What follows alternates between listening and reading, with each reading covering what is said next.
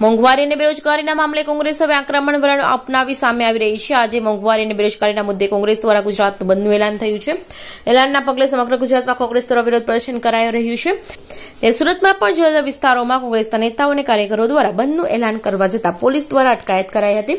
જ્યારે વેપારીએ ગુલાબ આપી બંધમાં જોડાવવા કોંગ્રેસને અપીલ કરી હતી.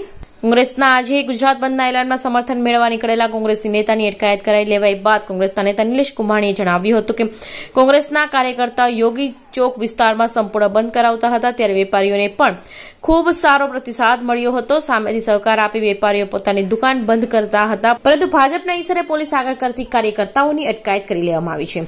પોલીસ દ્વારા દુકાનદારોને કહેવામાં આવ્યું છે કે દુકાન ચાલુ રાખજો, નહીં તો તમને પણ હેરાન કરવામાં આવશે. મારું નામ સુરેશભાઈ સુહગિયા, પૂર્વ સભ્ય નગર પ્રાથમિક શિક્ષણ સમિતિ સુરત. આજરોજ ગુજરાત પ્રદેશ કોંગ્રેસ સમિતિ દ્વારા જે લોકોનો અવાજ બુલંદ કરવા માટે મોંઘવારી, બેકારી, બેરોજગારી, ડ્રગ્સ જેવા મુદ્દાઓ ઉપર આંશિક બંધનું એલાન આપવામાં આવેલું હતું. એ અંતર્ગત આજરોજ એકસો અઠ્ઠાવન કામરેજ વિધાનસભા વિસ્તારની અંદર કોંગ્રેસ કાર્યકરો દ્વારા લોકોને બંધ રાખવા માટે શાંતિપૂર્ણ અપીલ કરવામાં આવી રહી હતી અને લોકોને સમજાવવામાં આવી રહ્યા હતા કે જ્યારે આજે સમગ્ર રાજ્યની અંદર ભગ ભય, ભૂખ અને ભ્રષ્ટાચાર વ્યાપી ગયો છે. મોંઘવારી, બેકારી જેવા મુદ્દાઓ રોજબરોજ વધતા જાય છે. ત્યારે આ તમામ પ્રશ્નોના સમાધાન માટે આપ સૌ કોંગ્રેસને સમર્થન આપો અને આજ બે કલાક માટે આપ સૌ આંશિક આપના ધંધા રોજગાર બંધ રાખી અને આ જે બંધનું એલાન છે એને સફળ બનાવવામાં અને લોકોનો જે અવાજ છે બુલંદ બને એ માટે આપ સાથ સહકાર આપો. ત્યારે લોકો તરફથી પણ સારો પ્રતિસાદ મળી રહ્યો હતો.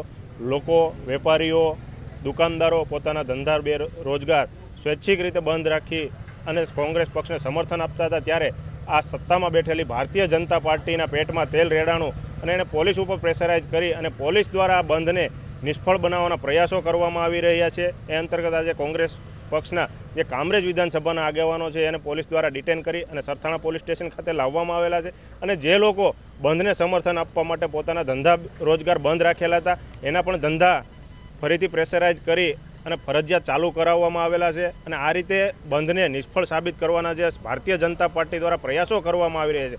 પરંતુ આ વખતે લોકોએ મન બનાવી લીધું છે કે લોકો બેકારી સામે લડવા માંગે છે, મોંઘવારી સામે લડવા માંગે છે, શિક્ષિત, બેરોજગારો જે યુવાનો છે, તે બેરોજગારી સામે લડવા માંગે છે. એટલે લોકોએ લડતનું મન બનાવી લીધું હોય ત્યારે આ લડતનો એક વિકલ્પ માત્ર કોંગ્રેસ હોય અને લોકો જ્યારે કોંગ્રેસની સાથે ચાલી રહ્યા છે, ત્યારે આ ભારતીય જનતા પાર્ટી દ્વારા એન કેન પ્રકારે લોકોને હેરાન કરવામાં આવી રહ્યા છે. પરંતુ આ વખતે આ લોકો જાગૃત બની ગયા છે, યુવાનો જાગી ગયા છે, તમામ સમાજો જાગૃત બની ગયા છે, ત્યારે ભારતીય જનતા પાર્ટીને આ વખતે અહીંથી જાકારો મળશે મળશે ને મળશે. આજ કોંગ્રેસ પાર્ટી દ્વારા ગુજરાત બંધનું એલાન કરવામાં આવ્યું હતું. એટલા માટે અમારા કોંગ્રેસના કાર્યકર્તાઓ બધાએ જઈ યોગી ચોક વિસ્તારમાં સંપૂર્ણ બંધ કરતા હતા. વેપારીઓનો પણ પ્રતિસાદ સારો હતો. વેપારીઓ પણ સામેથી દુકાનો બંધ કરતા હતા. પણ ભારતીય જનતા પાર્ટીના ઈશારે પોલીસને આગળ કરી અમારા કાર્યકર્તાઓને બંધ કરવા અટકાયત કરવામાં આવી અને દુકાનોવાળાને કહેવામાં આવ્યું, દુકાનો ચાલુ કરજો, નકર તમને પણ હેરાન કરવામાં આવશે.